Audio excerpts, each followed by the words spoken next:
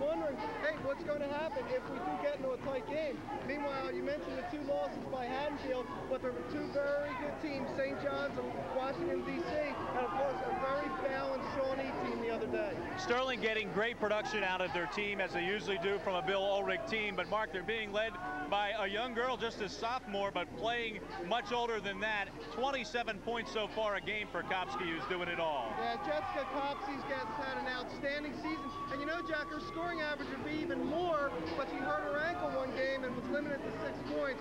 But she's outstanding in the fact that she can hit from the perimeter 47% from three-point range. She's a six-footer, but she loves to face the basket. And I think a key is obviously going to be how Haddonfield handles her. Of course, Savage is also going to be a key tonight for Sterling. She'll be forced to, to really handle the ball well for this club. Yeah, and she's been doing it all year. Sam Savage, again, another sophomore. This Sterling team has the best sophomore class in South Jersey, and Sam Savage has committed just four turnovers in the first six games. I mean, when you get that kind of production from your point guard, how she handles the Haddonfield pressure will be a key. You talked about Haddonfield and, of course, the two losses. They just lost this past weekend to a highly rated Shawnee team. That's taken a little off this game. But that's kind of difficult to say because as you look at this matchup, Mark, it has been Haddonfield that's had the better of the matchups. Only eight losses in the last, what, 56 games for Sterling. Five of those to the to the Haddonfield Bulldogs. Tonight, though, Haddonfield is going to have to protect the ball better than they did against the Renegades in that loss. there's no question. And one of the people we'll be looking at is Kristen McCandless, who I think's emerged as one of the top all-around players in all of South Jersey. She's averaging 15 a game, but she can distribute. She's an outstanding defender, and she will help control tempo. She also play a lot of positions on the court. So it is Haddonfield and Sterling, always a great matchup, and of course, a big game in this Colonial Conference early on in this season. We'll be back with the opening tip-off in just a moment.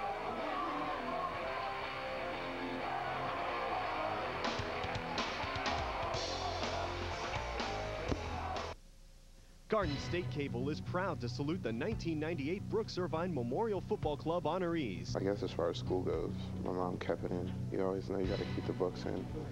Last year, we took first in the conference. Um, that was the first time in a long time for our school. This year, again, we made the playoffs, so uh, I have a little bit of something every year to remember. Please join Garden State Cable TV in congratulating this year's Brooks Irvine Football Club honorees. Back at Sterling High School, it is the Knights getting set to take on the Lady Bulldogs. Both teams have completed their warm-ups tonight, and we're set for the starting lineups. For those starting lineups, let's now go to the voice of the Lady Knights, Mr. Ken Lippincott. Number 10, Erin Donahue. Number 14, Kate Rusi. Number 20, Kristen McCandless. Number 21, Stephanie Batanti. Number 34, Alexis George. The Lady Bulldogs are coached by Mrs. Trish Green.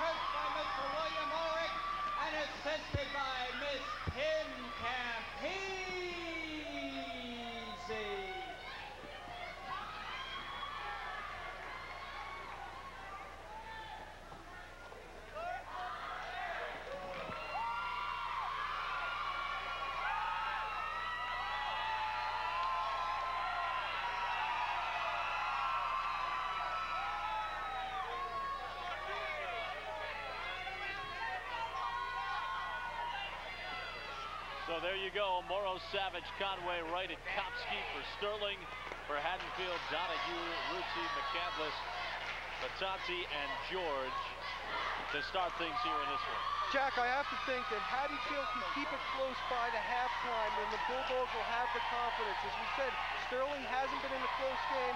No team in South Jersey is more capable of going on a 10-0 run than the Silver Knights. So the, the start of the game will really set a tone here. Mark, we talked about that ball game against Shawnee, and of course the loss to Shawnee, the Renegades jumped out to a 9-0 lead in that one and never looked back. Well, the other thing, Jack, Haddonfield had 29 turnovers in that game. Haddonfield controls off the tip. First shot is missed, and the boards are cleared by Wright. Well, again, Erin Donahue on Sam Savage. That's two very, very quick point guards. Again, they're starting Alexis George on Kopsky. She's one of the best defensive players in South Jersey, Jack, but she is giving away about four or five inches. Kopsky loves to face the basket, as we see. Sophomore gives way to the only senior on the floor for Sterling, Kim Morrow. And Morrow goes back to Kopsky as Sterling runs a very patient offense. The outside shot, no good for a three for Morrow, and the boards are cleared by McCandless. Well, McCandless does it all. Had a great box that time on the rebound. Shot was tipped. George with the follow, no good, and our first whistle tonight.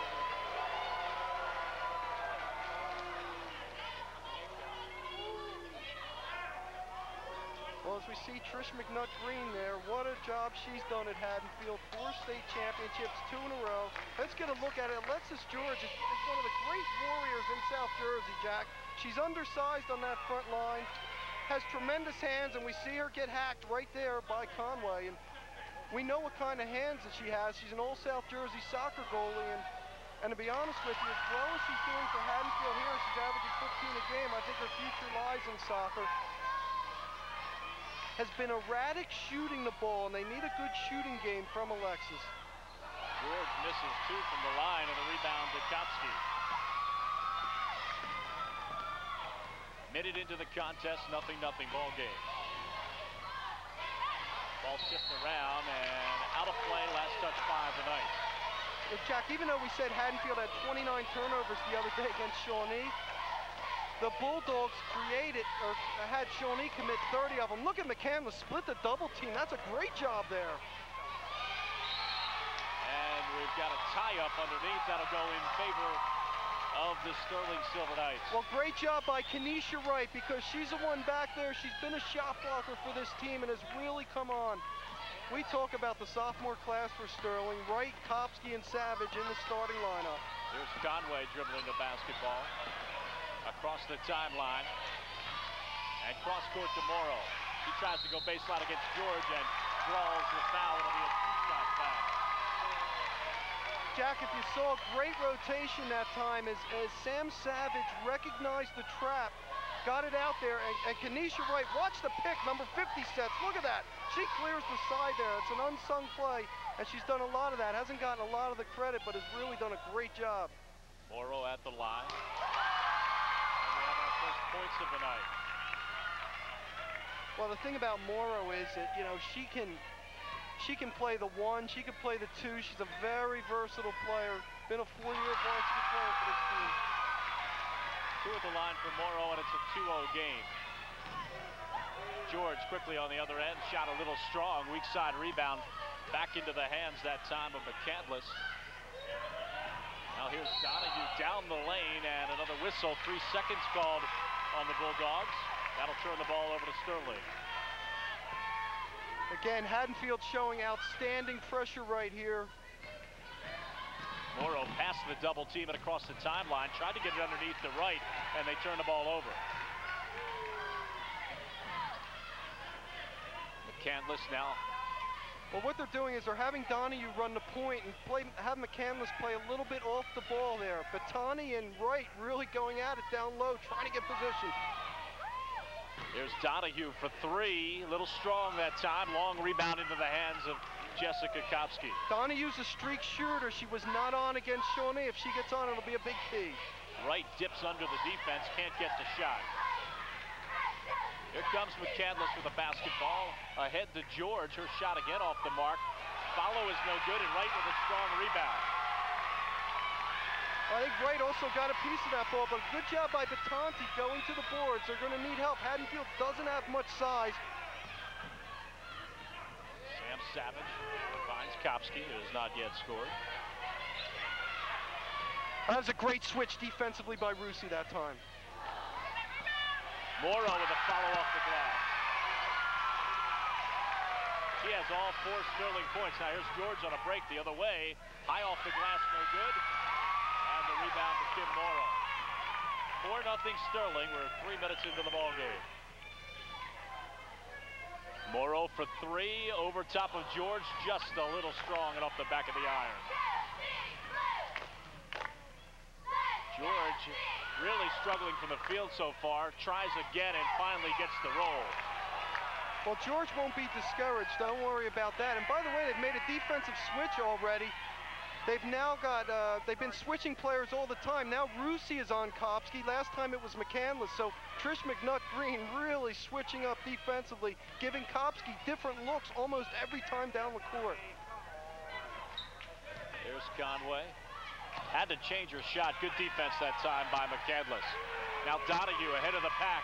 Over Kopsky, and Kopsky really altered that shot. Donahue gets it back and fires it down the drain for three. Haddonfield with a one-point lead. Well, Donahue will keep firing. She has a lot of confidence in her shot, Jack, and as we said, that's the key. If that outside shot can really work for them, that just opens up so much for Haddonfield. Donahue, of course, second in the meet of champions, and another turnover. Yeah, what happened there, Mark? Obviously, Savage picks up the dribble in the backcourt and took time finding Morrow, and then Morrow just kind of lackadaisical, dri lackadaisically dribbled it to half court, and obviously not in enough time. Sterling only averaging nine turnovers a game. Donahue with the offensive board. Now she's open off the screen, in and out. Another rebound to the Bulldogs. Haddonfield so quick and they're getting in there to the board. McCandless against Morrow. She backs up a little bit, gives way to Rusi. And Donahue just runs people off picks all day. She has, she's tireless.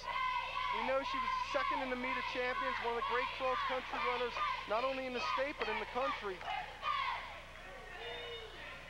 Strong move to the left by Rusi. She can't finish the shot, but McCandless is outside. She missed an easy jumper. Now a tie-up.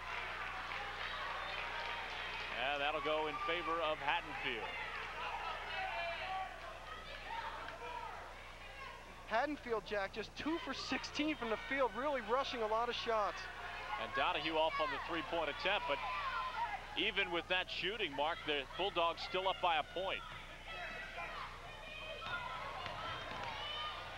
Kopsky tried to get it off the glass, couldn't do it. Off Wright's hands into Conway's, and she's fouled.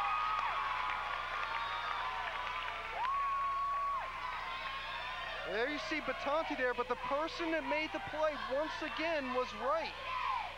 Kenesha Wright kept that ball alive. She's really gone strong to the boards. Watch 50 there. She'll get her hand on it and just keeps it alive. That's a great bit of rebounding. Foul was on Batanti. It's her first. Conway, was a key member last year of that South Jersey Group 2 championship team. As you see Bill Ulrich there with assistant coach Kim Cahill. And Conway now moving into the starting lineup this season.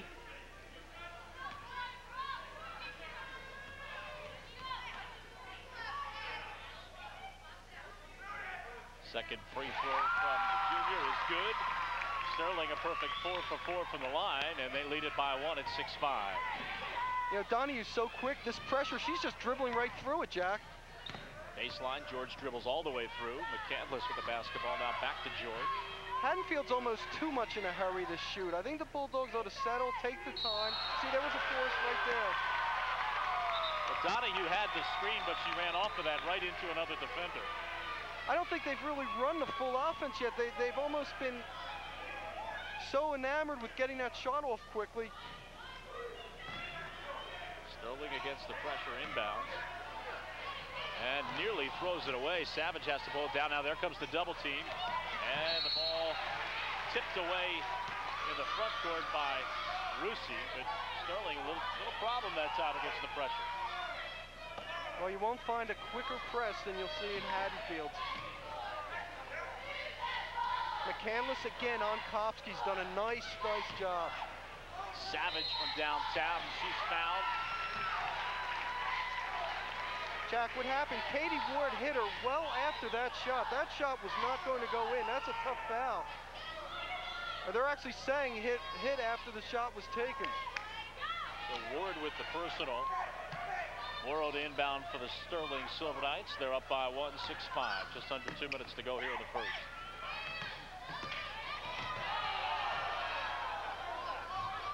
Conway looking things over.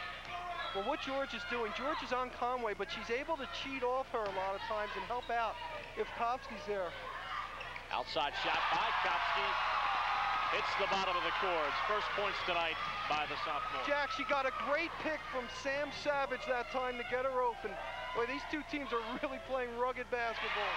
Ward from outside, just inside the three-point arc. And the Dogs back within a point.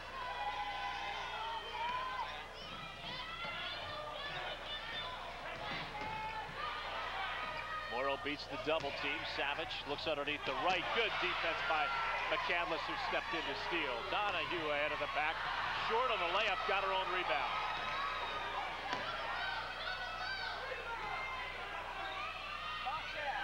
McCandless from outside, that is well off the mark. Well, Jack, And I think we're, the board. we're seeing that Haddonfield has not been a good perimeter shooting team, and that has certainly continued here in quarter number one. But the Bulldogs' quickness has enabled them to get in behind boxers and get in rebounds. Morrow fouled hard by Rusi as she tried to come down the lane. Well, Rusi did a good job weak side defensively getting there, but she did commit the foul that time. By the way, our officials tonight, Kathy Yeager and Janice Deary, as Trish McNutt Green, really turned this program around. You know, this rivalry wasn't the big rivalry it was till Trish got here and put the Bulldogs on top in South Jersey. Nice look underneath to Kopsky. She couldn't finish. Terrific pass from Morrow, but Kopsky couldn't hit the layup. You know, Shawnee is or Sterling has not been able to press Haddonfield because Donahue's so quick getting the ball up the court and splitting defenders. Dogs have had a tough shooting first quarter, but they have a chance to go to the break with a lead. Under 10 to play now. Great ball movement. Turnaround's no good. George can't get the rebound. Kopsky scrambles for it. Wright has it, and the buzzer will sound. Oh, hard fought first quarter as we thought it would be. After one, Sterling eight. Haddonfield seven. We'll go to the break. We want to say a special welcome to a brand new sponsor here of uh, Garden State Sports Spotlight, Bill Spearson's Sports Outlet. Sterling eight, Haddonfield seven. We'll be back in a moment. Cool. He's athletic. And he's popular. There's more to life than being cool, athletic, and popular. He's Kevin Arnold, growing up every weeknight on the hit TV series The Wonder Years on the place for TV hits, Nick at Nite. Watch The Wonder Years every weeknight on Nick at Nite. Along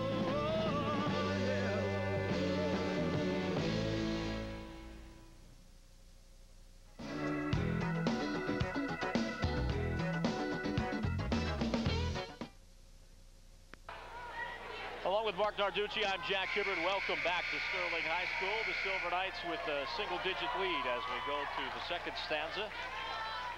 Jack Haddonfield three for 21 from the field, but getting a lot of second and third opportunities.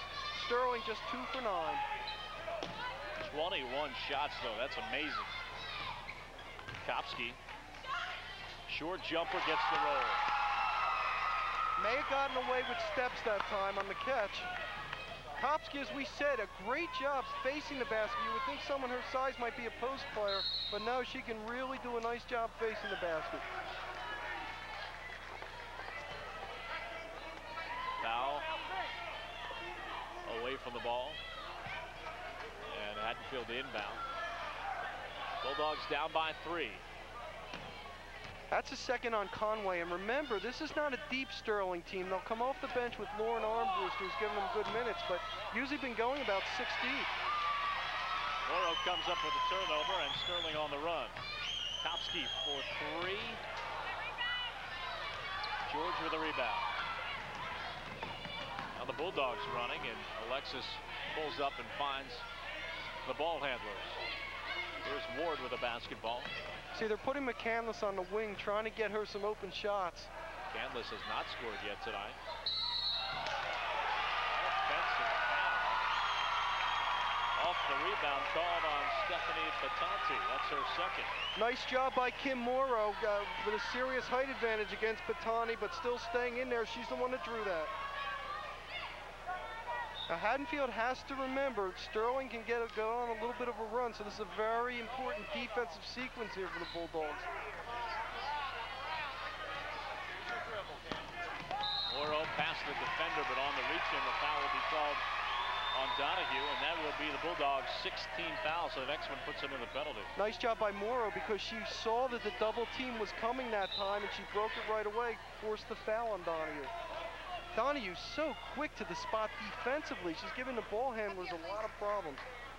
Well, Morrow, as you take a look at the respective coaches, Morrow, as we mentioned early on, the only senior starter on this team, and she's got uh, plenty of floor savvy and experience as she's been a part of some great Sterling teams over the last couple of years here. Has the ball now and on the layup has for two points. Leading scorer so far tonight for Sterling. Morrow now with six. Largest lead of the night for Sterling, 12-7.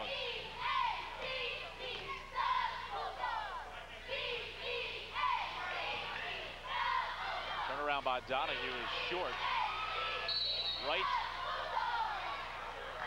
tied up in there by McCandless, and that'll go back to Haddonfield. Well, that shows you how quick McCandless is because Wright had that rebound and was ready to outlet, and all of a sudden McCandless came in there and tied it up.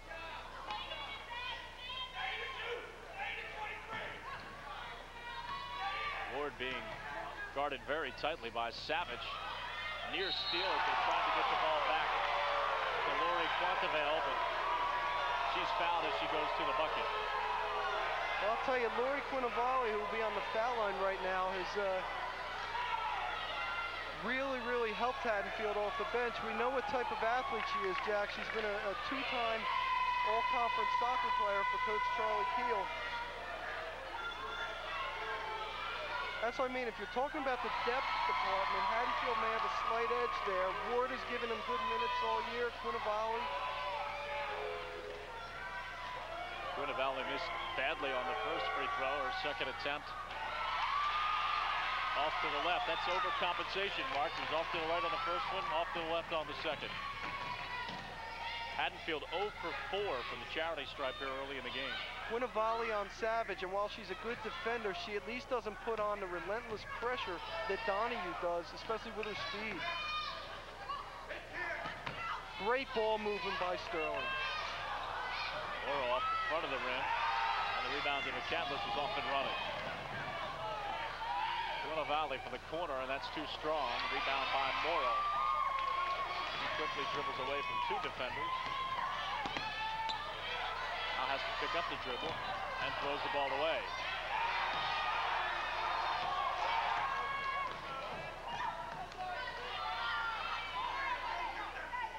Still think the Bulldogs are rushing their shots. Now Cave Ward will settle things down a little bit. Only for a moment though, huh? No shot, that will not count as Rusi had it go in, but they say she was fouled before she got into the act of shooting. Well, that was on Kenesha Wright, and I, and I think Rusi feels she can take her off the dribble anytime. They got an isolation there, and she made the most of it. Holding foul called on Savage. Or I think it's on Savage. Boy, if it's on Conway, that'll really be a problem. I think you're right, Jack. In fact, Mark Bill Ulrich thought maybe it was on Conway because he already had the substitute ready to come into the game. Number 30, Lauren Armbruster, had already shed the sweats and was at the scorer's table. Then he called her back.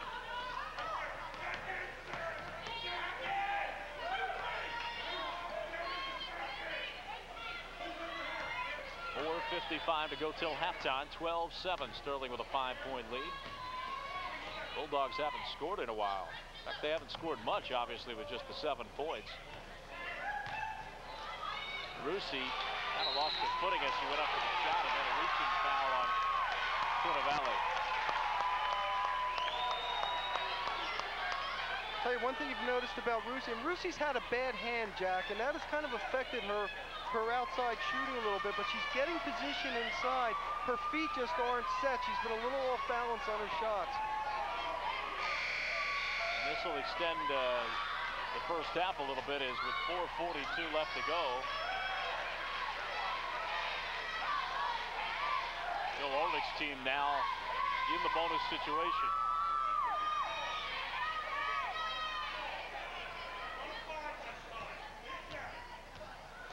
Kopsky at the line. Hits the front end of the one and run. Sterling, a perfect five for five from the stripe to start things here in the ball game. Of course, Jack, you know, she averaged over 19 a game last year as a freshman. Great complimentary score to Lauren Durkin, who's uh, doing a great job already for the College of New Jersey. 13-7 lead for Sterling. Sterling at a 2-3 defense.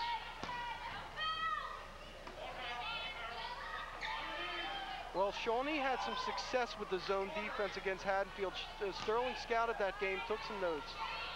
Lucy misses another close one. George, though, is able to come up with a rebound. Now Donahue for three. Arcing shot is off the mark, and she is hammered after the shot.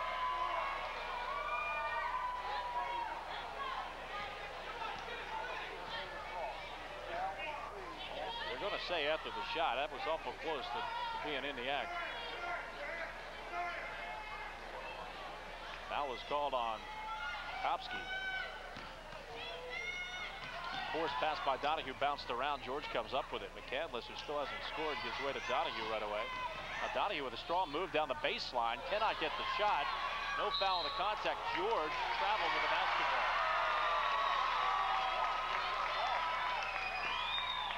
Jack, you notice how Sterling's packing in that zone. They're daring Haddonfield to shoot from the perimeter right now. Haddonfield not showing confidence. Trouble in the backcourt for Sterling, and the Knights will call a 20-second timeout. 3.52 to go here in the first half. 13-7, the six-point lead, the largest of the night so far for Bill Ulrich and his Silver Knights.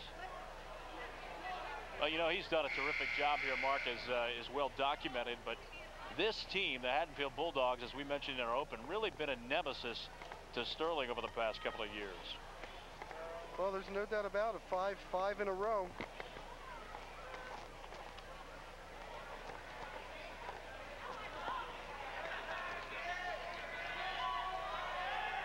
Thing about Bill Ulrich is, is, as you see the next game, Jack, that'll be a very evenly matched game between Camden Catholic and Paul VI. Uh, Camden Catholic coming off that, that loss to Bishop Eustace, and make no mistake about it, Eustace is a front runner. I think Paul VI thinks it has some designs of contending in the national division, and the Eagles will have to get by Camden Catholic. Bill Ulrich coming into this year, 420 wins and 70 losses with the girls program, and he won over 200 with the boys program one of the premier coaches in South Jersey. Knights who had some spotty trouble with the press this time break it. Morrow with a dangerous pass that ends up in Kopsky's hands. Now she's stripped of the basketball. A good weak side defense by Rusi, but the Bulldogs travel with it. Gotta go back to Sterling. Morrow to inbound.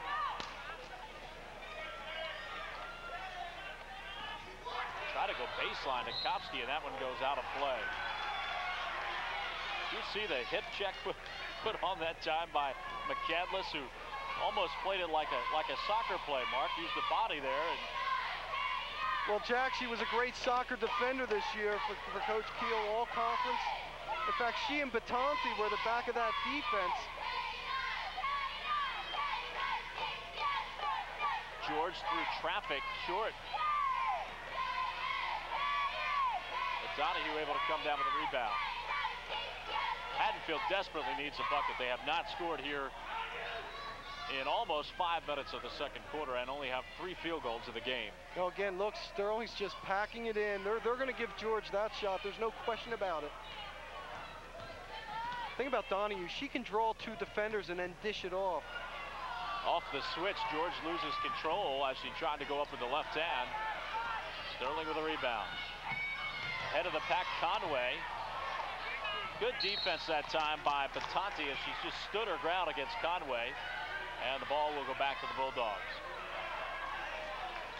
2.47 to go till the break. 13-7. We've been stuck on this score for the past minute or so. Haddonfield still trying to find some shooting here tonight. Well, what they're doing now, they're moving McCandless, it looks like, to the point to try to get Donahue some shots maybe on the wing. I think Donahue still is the best perimeter shooter on this team, Jack. He has the ball now and will shoot from way downtown. The three-pointer no good. The rebound to Wright and a foul called on Batanti. That'll be her third as she held Wright trying to break out with the ball. So first player tonight in foul trouble is Batanti right here as she gets hung up a little bit with Wright on the rebound. I'll tell you right, Kenesha Wright has done a nice job inside. Of course, last year uh, did not see a lot of playing time, varsity-wise, developed on the JV.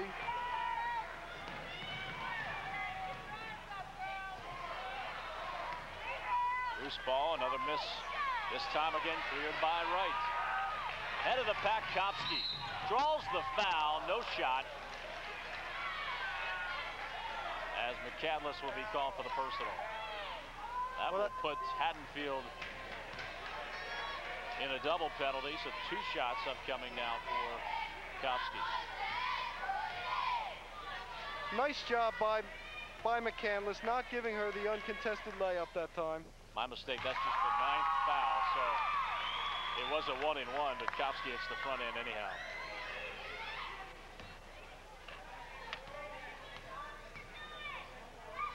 Kopsky's a great shooter, Jack. One of the best in South Jersey. Sterling has outscored Haddonfield 7-0 here in the second quarter. They lead at 15-7. Good ball movement, but Rusi wasn't able to hang on, and here come the Sterling Silver Knights again.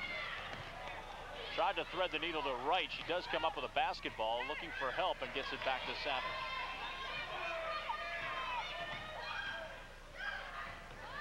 Shot by Sam Savage, no good. Donahue with a rebound. To her left, picks up her dribble and cans the shot. Much needed basket for the Bulldogs. One thing about Donahue, she will not lose confidence. Kopsky keeps getting away from that press.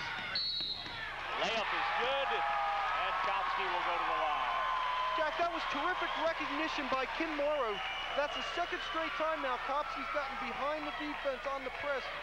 Morrow with the pass, and Kopsky going up strong, even though she's hacked. Canvas had the right idea, Mark, but she was about a step behind, and you're going to foul on a layup, you got to make sure it doesn't go down. Kopsky, only had two in the first, now has eight in the second for 10 in the ball game. 18-9 lead for Sterling.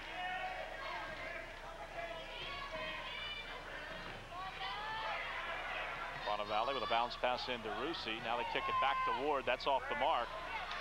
And an easy board for Savage. She lost the handle. I think dribbled it off her shoe. On the tie-up, Sterling will get it back. Sterling's done a great job on transition defense. You haven't seen Haddonfield get any kind of layups or anything like that. Nothing's been easy for the Bulldogs. Look at Kopsky, in addition to scoring, helps break the press there. Morrow strong to the bucket. No bucket. They're going to wave it off and say the foul occurred before the shot.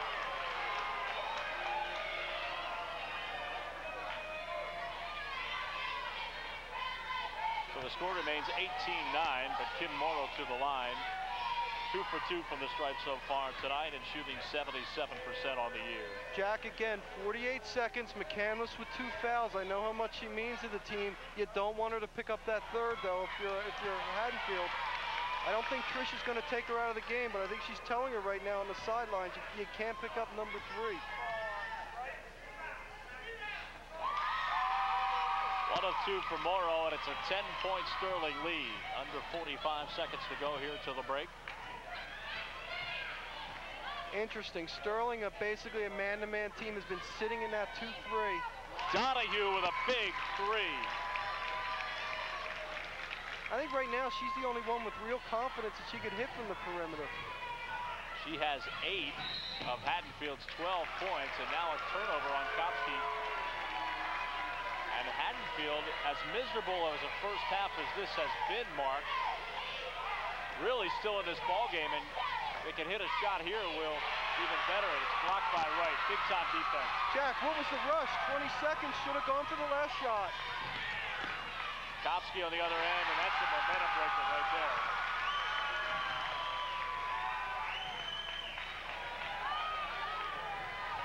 McCandless will have to shoot the three. That's too strong, and the buzzer will sound.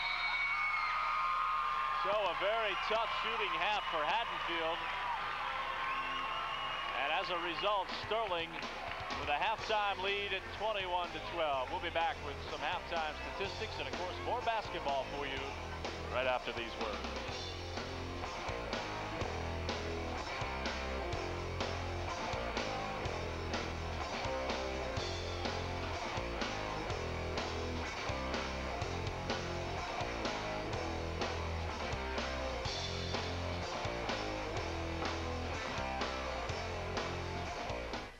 Garden State Cable is proud to salute the 1998 Brooks Irvine Memorial Football Club honorees. You know, not only are you working hard on, on the football field and the practice and everything, but you're also getting it done uh, with your schoolwork and everything else. It, it kind of makes you two-dimensional. You, you may get the edge over somebody else that they're recruiting just because you did better in school. Please join Garden State Cable TV in congratulating this year's Brooks Irvine Football Club honorees. AMC Behind the Screen. He said, you're going to win the Oscar. I really was scared that I would not be able to play it well enough. It was just insane. It's Hollywood like you've never seen. Oh, yes, the mole was completely painted on. Barbra Streisand, great talent, very difficult to work with. Maybe as a teenager, I wasn't that delighted with reality. The stars, the stories, the straight talk. AMC Behind the Screen. Sundays at 7.30 p.m. Eastern, only on AMC. Welcome back to Sterling High School. I'm Jack Hibbert along with Mark Narducci. Just about set for second half action. Mark, very tough shooting half for the Haddonfield Bulldogs in that first half. Well, Jack, 5 for 35 from the field. I mean, they're, they're fortunate to be down by just nine points. Sterling, meanwhile, 6 for 17, 9 for 11 from the foul line, hitting those foul shots. 82% from the stripe that translates into and Only 35% from the field makes you wonder if Sterling had shot better, Haddonfield probably wouldn't even be in this ball game. George has had a tough night shooting all night, and she misses to start the second half here. Mark, I don't care what level you're playing on, 14% isn't going to get the job done. Uh, there's no question about it. And a lot of them were rush shots, Jack, too. Haddonfield, to its credit, got a lot of offensive rebounds with his quickness getting in there behind uh, the box outs of Sterling. Now, Alexis George is on Kopsky here. Kopsky off the glass. Well, well, Jack, again, another terrific pit set by Kanisha Wright that time, giving Kopsky the room for the jumper. Breaking free, wide open was Batanti. She couldn't get the layup. That's just the kind of night it's been for Haddonfield. Nobody between her and the glass, and she came up short. Conway across the lane, turn around against Rusi. Good defense by the Haddonfield sophomore. Well, I, I, think Sterling's done a nice job, as we mentioned, doing a great job with the picks of getting Kopsky open shots. You get her open shots, she's going to hit them. Morrow for three. That's an air ball. Wright fights for the rebound. Tough work that time by Kashina Wright. Savage shot short, but she gets it back. Kopsky for three. we said coming into this ball game that she was hitting on 47% from outside that stripe, and that, that one looked easy. Her first three of the night. Off the turnover, misses a layup. Wright the follow, that's no good. Wright will be called for the foul as she tackles Rusi from behind. That's a big foul because that's Wright's third personal foul, and she's meant so much inside. Rusi's shaken up a little bit on this play, Mark. And for good reason. Take a look at this. Wright coming in, yeah. Oh, there you see the pain that time. She's getting helped up. We talked about she's had that hand injury before. Lucy on the bench right now for the Bulldogs after that contact. Jack, the one thing is Haddonfield cannot leave Kopsky open. In fact, they, they have to cheat on her with a second person. McCandless doesn't hit the shot. She came in averaging 15 a game, has been held scoreless so far. The only person with any real offensive productivity for Haddonfield has been Donahue. She had eight at halftime. They've got Kopsky again with a double pick that time. Wow. Kopsky has scored all eight Sterling points, and the Silver Knights on an 8-0 run to start the second half. Another layup missed in there by Batanti. She gets the rebound. You wonder why Bill Ulrich won 420 games coming into the year. He's getting his best player good open shots. Donahue for three. A miss, and on the tie-up, the possession will go to Sterling. Five minutes and 15 seconds to go here in the third, and only 12 points on the board for Haddonfield. It's 28 to 12.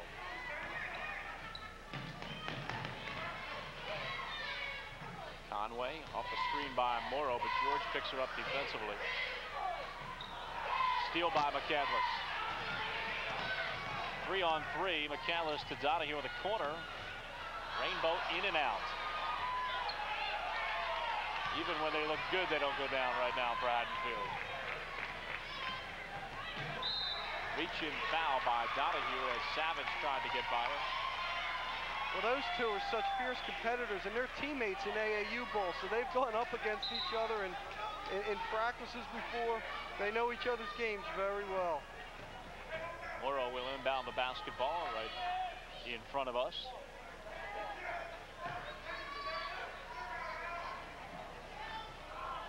Kopsky guarded by George. Crossover dribble. She's sealed off. Kicks it back to Savage. See, that was a good job by Donahue that time. She helped out defensively on Kopsky. One person can't do it on her, Jack. There's the double team again. She recognizes it, gets back to Morrow. Underneath Conway, open and hacked. That was a must foul by Ward. Conway had a wide open layup. Oh, again, how many great passes. Watch the pass by Kim Morrow that time with the left hand in there. And again, Kim Morrow, who's played some point guard in her career, shows the playmaking ability there. Very, very versatile player. Conway at the line, two for two at the beginning of the ball game. Her only two points of the contest. Of course, that's the uh, that's the Hibbard curse. Conway came in hitting 73% of her foul shots. Comes up empty on that trip.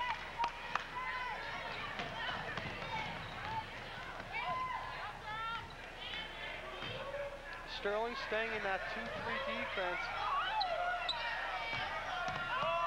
George finally gets a bucket. First second of the night. The other one came way back in the first quarter. Great job by Haddonfield on the pressure defense that time. Well, the good news for the Bulldogs, Mark, is even though they've gone long stretches without scoring, almost four minutes here, almost five minutes in the second quarter, there's still a lot of time left in this ball game. Down by 14. Tried to get the ball inside to George, and a tough pass to try to complete. Morrow from downtown, that's off the mark. Bodies on the floor. Ball to Sterling, outside shot no good. Wright the rebound, the follow, no good, but she'll go to the line. I think Sam Savage got away with one that time. She just crushed the boards. And again, the weak side rebounding by Kenesha Wright. Look what she's doing there. Of course, her brother is the starting center, uh, Keith of the boys basketball team. Hit, hit the two winning free throws the other night as uh, Sterling beat Paulsboro 53-52. Jack, you talk about one of the most improved players in South Jersey. You're looking at her right now. Hey, she's been a real key to why this team has gotten off to this kind of start. Wright's first two points of the night, but that doesn't tell the story. She has really done a job on the glass. Well, she allows you to cheat defensively, too. Ward wide open for a three, missed it. Morrow with a rebound. Ahead to Wright. She'll get it back to Morrow.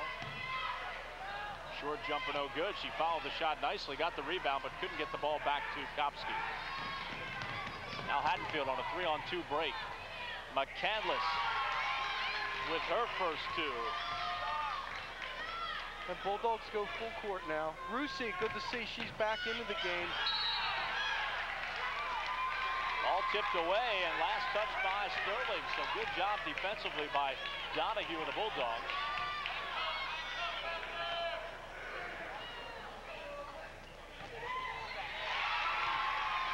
With the shot off the inbounds pass. And it's a 12-point lead. 30 to 18. Bill Ulrich wants Sterling to spread the court out a little bit more. Oh, great pass. Well, Haddonfield marked gambling defensively, and that time Sterling made them pay.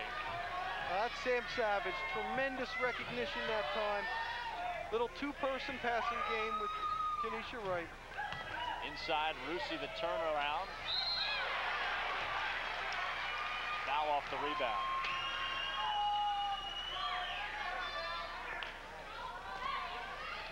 Jack, it's almost like Rusi just threw this ball up there instead of aiming it or anything like that. That really got a forced shot and then coming over the top that time.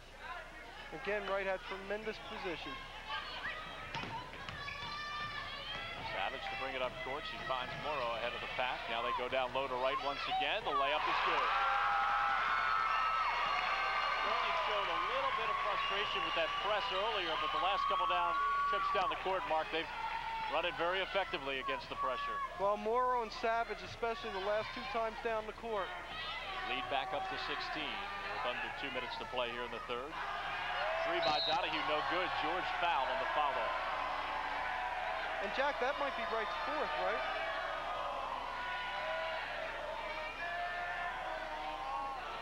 Yes, indeed. Fourth personal called on the sophomore center, so Wright will probably have to go to the bench. Here's another look. There it is. Boy, Alexis George just trying to draw the foul there, and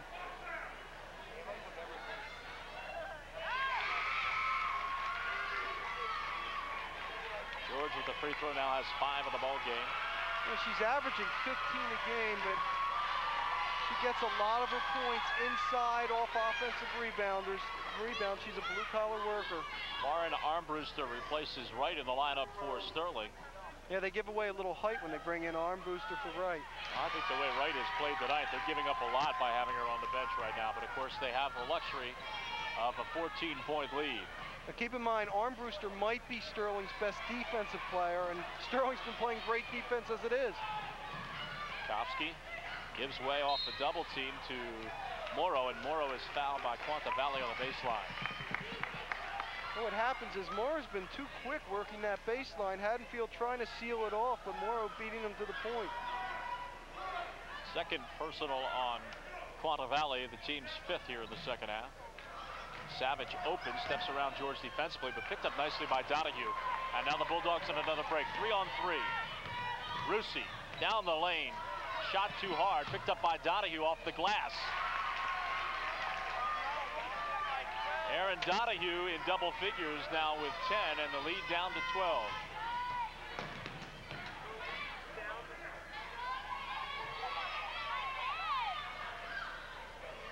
Well, they have Rusi on Kopsky. That's a tough defensive matchup for Rusi. They work it around to Kopsky. The Rainbows an air ball. Donahue against Morrow. Pulls up. Bank shot doesn't go. Nice weak side rebound by Ward. There was contact but no whistle. George will get the foul. What a job by Alexis George here that time. Second time up on the offensive rebound. She's just relentless. She will not quit on the boards. That's only Moore's first personal foul. Kate Ward goes to the bench for Haddonfield. McCandless back in. They'll bring it in out of bounds. Ball tipped away by Savage. Big steal defensively as Haddonfield was trying to gain some momentum. Brewster guarded by Quinavali. Well, they're trying to post Kopsky now. We haven't seen that before. She was trying to get position. George wouldn't let her get position in the blocks. Now they're spreading things out a little bit. Haddonfield will chase it. Nobody does a better job chasing the ball than Donahue. 22 seconds to go in the third. Morrow down the lane, the floater off the glass, good. No good. No good, they're gonna wipe it out. Offensive foul called on Kim Morrow. I thought they might give her the bucket and then call the foul, but they say no. You never see that in high school, really. And look at Quinavali. Great job getting the position right there that time. Can you believe Haddonfield can get within 10?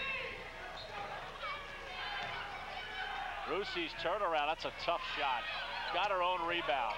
Quinavali down the lane, they say a foul before that shot on the floor. Reach it.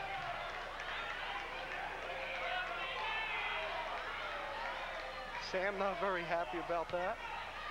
Savage called for her second. Seven seconds to go in the third.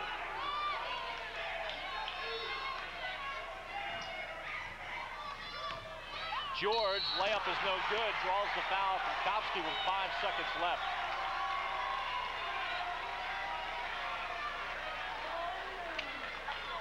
Just the second on. Look at the Jessica. body position she had to get the ball, and she got hammered that time inside by Kopsky. Boy, Alexis George plays with such fire, doesn't she? She's not hitting her shot tonight. Doesn't stop. In fact, this whole Haddonfield team has just been relentless. You know, Jack, I don't think they think this is over yet. As, as tough a night as they've had offensively. And Mark, you know what? It isn't. Just an 11-point lead. Turnaround at the buzzer will go by Donahue. How about that? So they get a three-point play at the end of the third quarter and draw back to within nine after being down by 16 earlier in the quarter. After three, the score is Sterling 34, Haddonfield 25. We'll be back for the fourth quarter in a moment.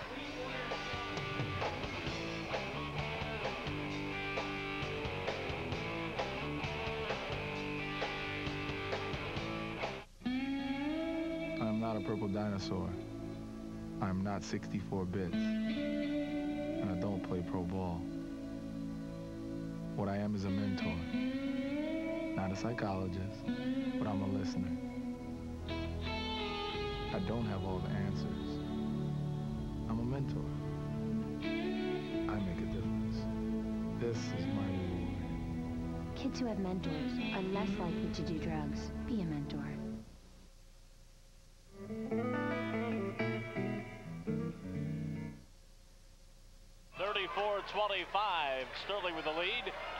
Set to start the fourth quarter. I'm Jack Gibbon along with Mark Narducci. Mark, Sterling came out after the halftime break, scored the first eight points, and then only hit, in fact, Kopsky scored all eight, then only hit two field goals after that. Meanwhile, Haddonfield goes four minutes without scoring, and yet the Bulldogs only down by nine, and they get the ball to start things here in the fourth. Turn it over, though. Savage ahead to Morrow pass has uh, Haddonfield back defensively. Here's Kopsky. Can't get the three. Loose ball. Quinavali lets it go out of play, and the Bulldogs will get it back.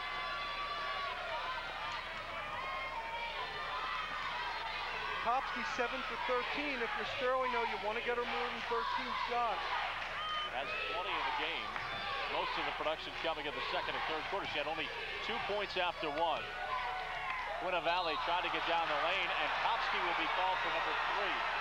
looked like she had a lot of ball there, but they whistle her for the foul. Well, Haddonfield has said, hey, we're not hitting from the outside. We might as well challenge them and try to get some fouls on them.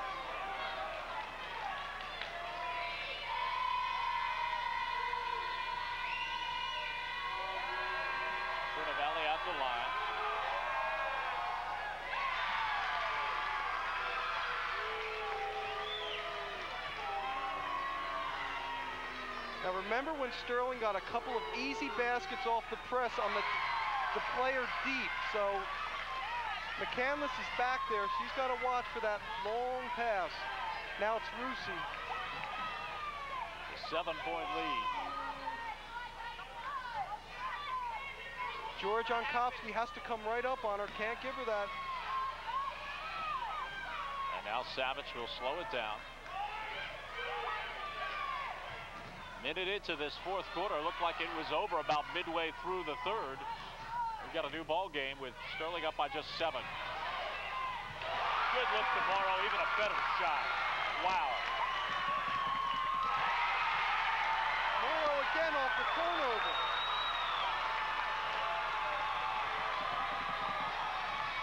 Quinavali double dribble. And that's a bad sequence for Haddonfield, and Trish McNutt-Green has seen enough of that. She calls a timeout. 6.44 to go after Haddonfield had gotten to within seven. Sterling with four straight points, they lead at 28-27. Well, again, Kim Morrow did with the, with the steal, the turnover.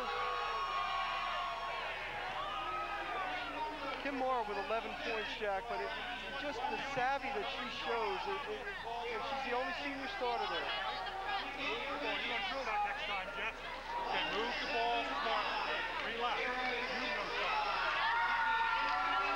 three. Have four, Coach. Have all four.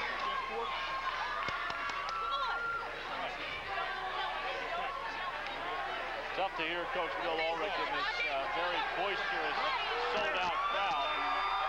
But certainly he wants his team to take, take control of the ball, Mark, here in the in the closing moments. You got some friends here tonight. That must be my relatives. A great place to see basketball game. A very small gymnasium, as we mentioned, sold out tonight. They even have an overflow crowd down the hall in the gymnasium watching this one.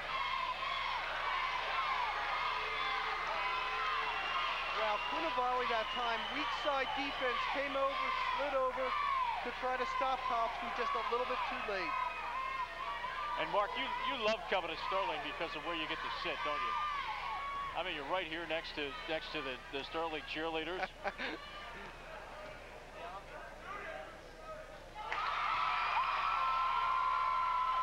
Now with 22. Jack, when we uh, talk about this turnaround, those two baskets by Morrow within seconds of each other. If Sterling holds on, it'll go a long way to helping the Silver Knights. The lead back up to 13, and now uh, the official wants to allow for a substitution as McCandless will come back in. McCandless with just a single field goal tonight.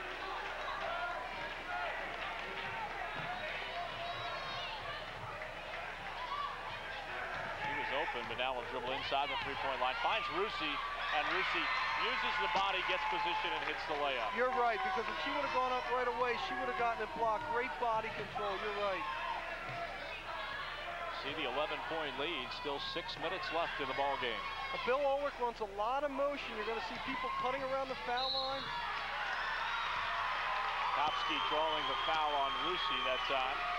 Jack, they cannot let even Kopsky put the ball on the floor because when she does, she goes so strong to the hole and she draws a lot of fouls. There it is that time. Well, I tell you, Rusi had great position. Of course, we're watching it in slow-mo, Mark, but you wonder if she stayed on her feet, if she'd have been able to uh, draw the foul instead of committing.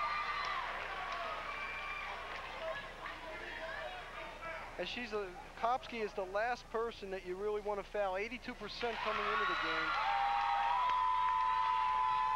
By far, the team's best free throw shooter among the starters, that is. Four for four just in the fourth quarter now. 24 in the game. A little give and go, and that was forced in there that time by Batanti, and the ball tipped out of play by Sterling.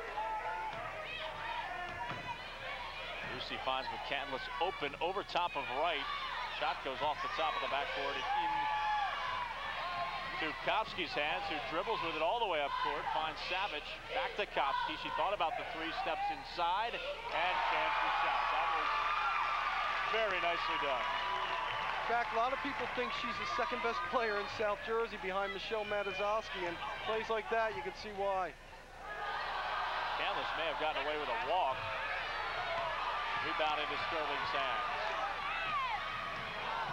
Off of Morrow, and Haddonfield will get it back. 5.07 to go, but the Silver Knights back out to a 15-point lead. Well, we said one of the keys would be how they'd be able to defend Kopsky. They really she hasn't taken a lot of shots, but she's really hurt them, just as she hurts every team. Kopsky had 10 points in the second, eight in the third, and already six here in the fourth.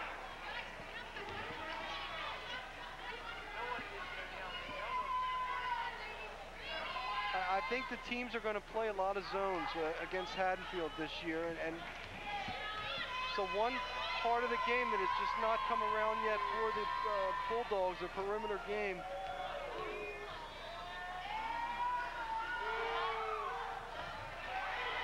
Dante off on the free throw.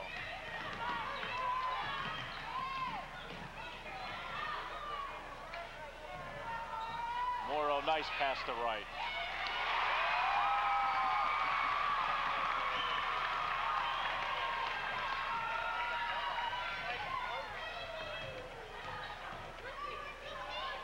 Really helps when you have two people like Savage and Morrow that can handle out there.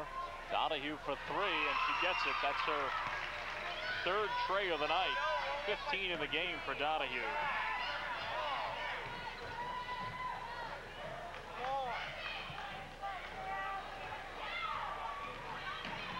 Savage through the traffic, finds the open play underneath. Conway hits the layup and will get another. Well, Morrow did it the play before, then this time it's Savage. Yeah, Savage is about 5'9", and she can see over some defenses. Look at that great pass drilled in there, and Conway with the finish. and I'll tell you, the front court players of Sterling have been recipients of some outstanding passes from Savage and Morrow here tonight. Uh, last couple of times down the floor, too, Mark, they've done an outstanding job of beating that pressure of the double team and finding the open player underneath. That, by the way, is the fifth foul on Haddonfield's Stephanie Batanti, so she has fouled out with 4.10 to play. Tough night for Batanti. She took some shots here tonight, but unable to get in the scorebook.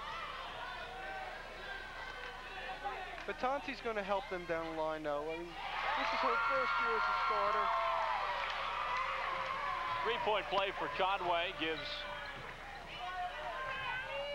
the Knights back their largest lead of the evening at 17. The three-point miss. McCandless follow. Layup is good. That's a great drop step that time by McCandless.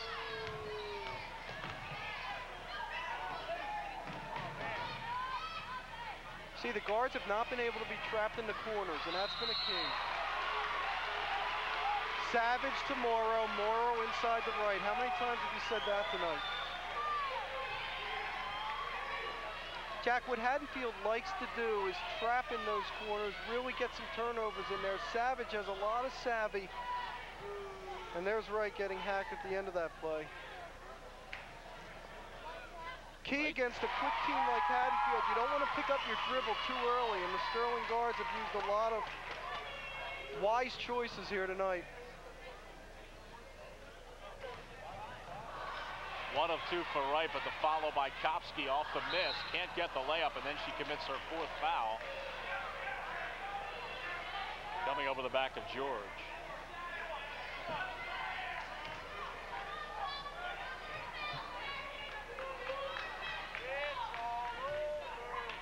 Three forty-two to go in the fourth quarter.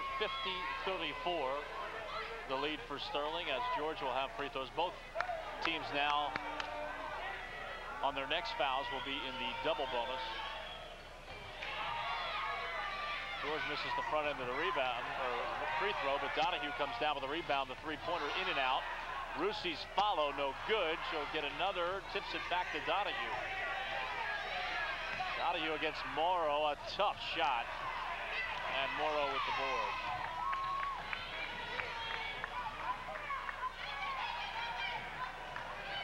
Wright open again under the bucket.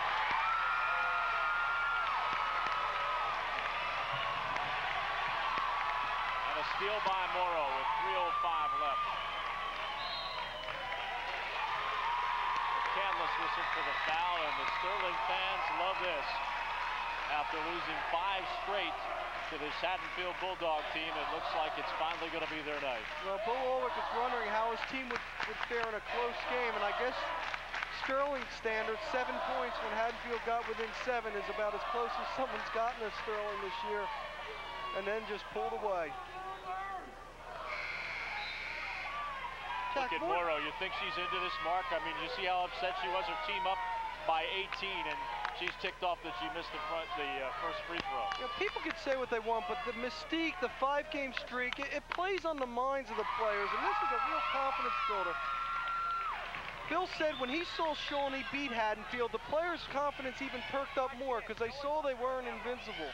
Nice pass to Quinavali, who gets the layup. Her first field goal tonight. Another great pass by Savage. Three on one, but it's broken up by Rusi. Now Rusi, 17 away, can't get that one to go. Good rebound by McCandless. She muscles it against Wright and gets a layup.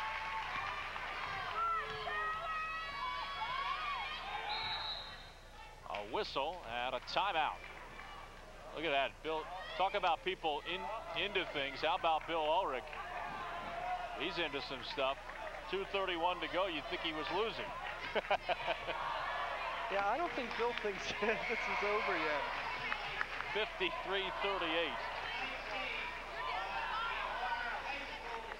With 2.31 to go. Jack, if you want to look from the state perspective, Mendham, the team that, that beat Sterling last year in the Group 2 finals and won the Tournament of Champions, a Group 2 school is number one in the, in the recent state rankings. Sterling's in the top six, and so is Voorhees. That's three Group 2 teams in the top six. I Think there's a little bit of power in Group 2 this year?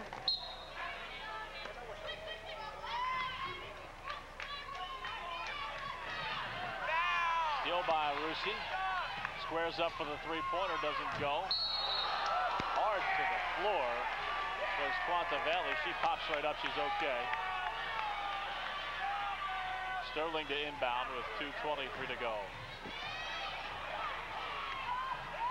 Morrow past everybody.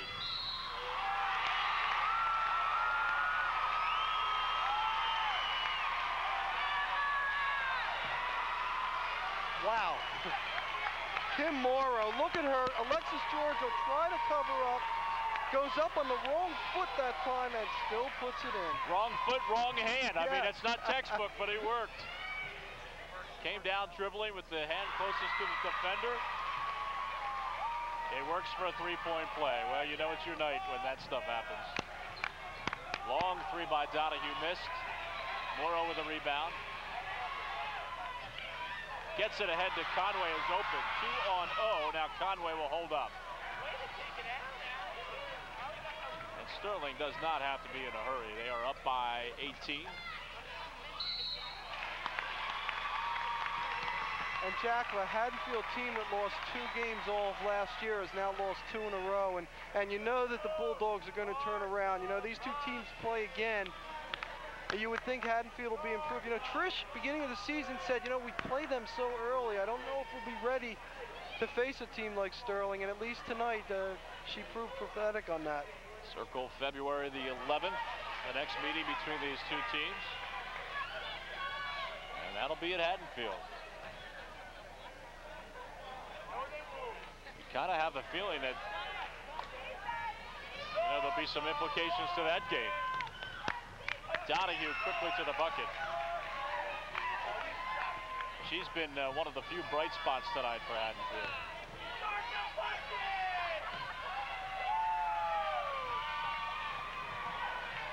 On way to Morrow. Morrow breaks the timeline as they get it to Savage with a minute and a half left. Sterling spreading the floor. Whistle across the way. Stops the clock with 124 to go.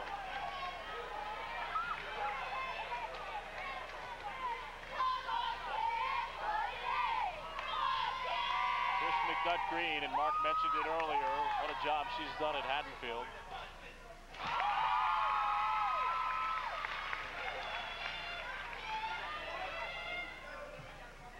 Big fourth quarter for Morrow. She has nine. Wright ties up George. Ball goes back to Sterling.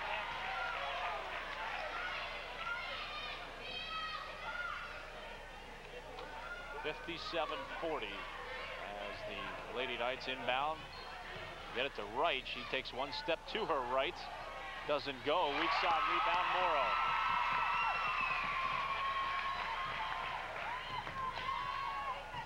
McCandless from outside. A timeout called by Sterling with 104 to go. You know, Jack, Morrow has scored. She has 18 now. She has scored 18, at least 18 in every game this year. Came in averaging nearly 20 a game, 19.7. Didn't look like she'd get near that. Had only seven in the first half. Nothing in the third quarter, but she's exploded here in this fourth. And forget about the points. I think the passing, too, the, the combination, the way she's been working with Savage. And, and, they momentarily, for a while, had a little trouble with that press, especially in the third quarter, but they made the adjustments, spread the floor out a little bit more. Think it, think it's been a, think it's been a tough night for for uh, for Haddonfield. I'll get back to the point in just a moment. Here's our next wrestling meet coming up here on Garden State Cable. Uh, Highland versus Eastern. That premieres on Thursday, January the 21st. Remember last year Eastern won that matchup, so I think Highland will be up for more revenge. What I was saying is if you think it's been a long night for the Bulldogs, Trish McNutt Green told her team during the last time out, just stay on the floor. I don't think we have anything else to talk about. 17 point deficit for Haddonfield. 55 seconds to play. Wright with the layup. We give Morrow another assist. McCandless from outside doesn't go. George can't get the rebound. Last touched, I think, by Quinavali. And they'll give it back to Sterling with 40 seconds remaining.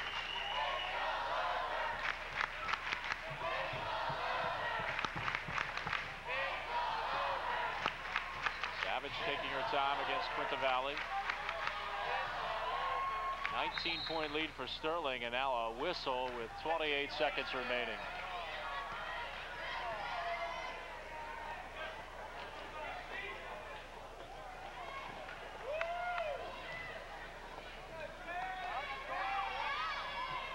Jack, does seem that she's gotten a quiet 25 tonight, Kopsky?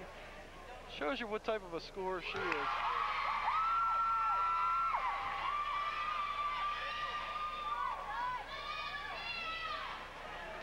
She's only taken 15 shots from the field, 8 for 15. It's 6 for 6 from the line here in the fourth quarter.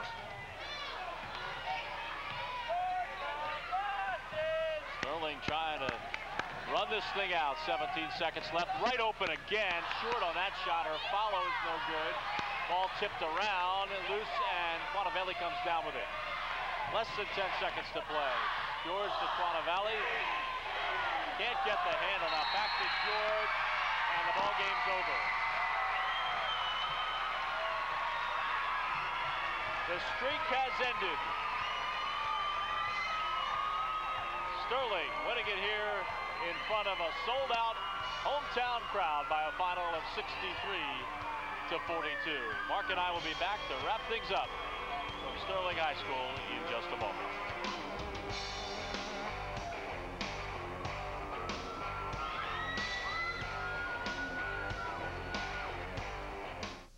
I'm just flipping around the television, all of a sudden I come across this Animal Planet channel. You don't plan on watching, you're just flipping around, and boom! You're watching this crazy little Australian guy named Steve Irwin. I've been wrestling crocs since I was knee-high to a dingo. 24 hours a day, this man is in a bush, staring at a crocodile's head coming out of the water. I'm gonna dive into this lake, filled with crocodiles, just to see what happens. Catch the real crocodile hunter, Sundays at 9, only on Animal Planet.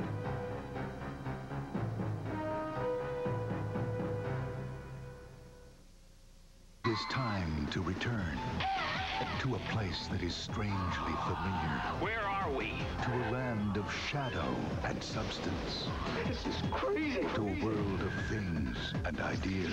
The Twilight Zone, Twilight Zone, Twilight Zone. Rod Serling's classic vision is back where it belongs on the only network that can bring it to you, the Twilight Zone.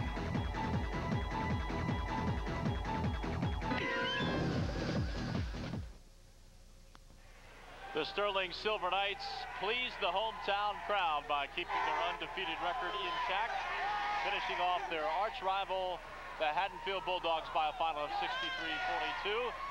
Coach Bill Ulrich has seen a lot of wins here for this Sterling team, but not many over Haddonfield, so this has got to be a special night out on the court with my partner, Mark Narducci, as the winning coach, Bill Ulrich. Mark? All right, Jack, with Coach Bill Ulrich. And, uh, Coach, you were worried before the game. You hadn't been in a close game.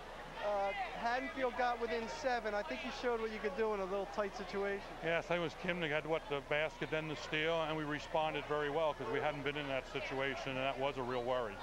You know, real key, you start out in the man, you make the adjustment, you see they're not hitting from the outside, you went to the zone, I, I thought that made a big difference. You, you kind of packed it in and dared them to shoot. Yes, I like to shove it inside against the man in their post play. In that zone, we took it away from it, and we were trying to guard Donahue at all times. She was the one girl we wanted man pressure on outside, and it really kind of worked well because I think at the end of the game she was shooting from really uh, distance. We had them shooting 17 for 72 from the field. Could, could you do a better defensive job than you did tonight? No, not at all. I know that was our plan to make sure they didn't shove it inside on us. Jessica Kopsky, I made the comment that I, she might be the second best player in South Jersey behind Triton's Michelle Matazowski. I, I don't think I'll get an argument from you on that, will I? No, I, you know, the thing is she's really young, but uh, she handles, she plays good defense, blocks shots, deadly shooter, deadly foul shooter. Uh, she's just a pleasure to coach. Uh, the other thing is Haddonfield hurt you for a little bit on the pressure, and it looks like you made the adjustment on the fact that it looked like you spread it out a little bit more. And you have basically two point guards, and Sam Savage and Morrow, I thought they both did an outstanding job. Yeah, people don't realize two years ago, Kim was second team all conference in the Colonial Conference at point guard. And uh, she just gives us that second ball handler. And Kopsky can bring the ball up against pressure. So really we have three people that can hurt their press.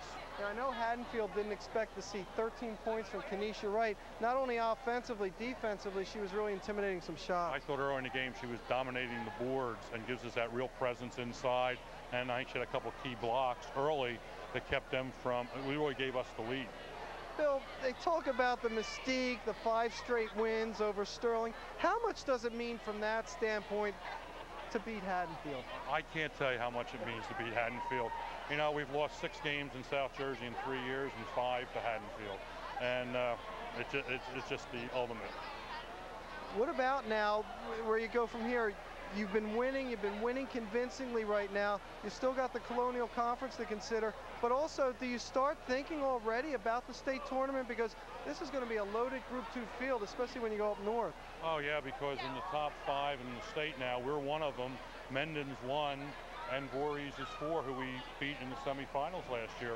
Uh, but still, we got to get out of South Jersey, and we still have a couple real good games coming up. So last thing I want to ask you, the atmosphere here, I mean, cars are parked, I think, in the Magnolia tonight. I mean, it was a great crowd. It was noisy. They were into it the whole game. I guess this is what it's all about. Really, and I, I just think it's great for girls basketball that you could get this kind of a crowd for a girls game. No doubt about it. Well, Bill, congratulations, Jack. A tremendous effort by Sterling, the number one team in South Jersey, and they obviously showed it here tonight. Really pleasing the hometown crowd. Mark mentioned a sold-out house tonight. And what a great performance by their own Sterling Silver Knights, winning 63 to 42. Uh, leading scorers in the contest, Mark mentioned Kopsky had 27, 18 for Kim Morrow, 13 in a big effort, as Coach Ulrich mentioned, from Kenesha Wright. And a losing cause for Haddonfield, leading all scorers in double figures was Erin Donahue with 17, eight apiece for Kristen McCandless and for Alexis George. Don't forget our next event coming up here on Garden State Cable TV will be another girls basketball matchup for you. Great parochial action between Camden Catholic and Paul the Six. We hope you can join us for that one. Final score here tonight from Sterling, the Silver Knights 63, Haddonfield Bulldogs 42.